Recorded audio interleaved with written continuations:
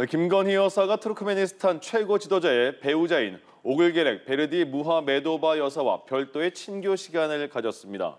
김 여사는 투르크메니스탄의 전통 수공예품인 카페트와 자수, 또 전통 의상 시연 등을 감상한 뒤에 전통 의상을 입고 오찬장으로 이동했습니다.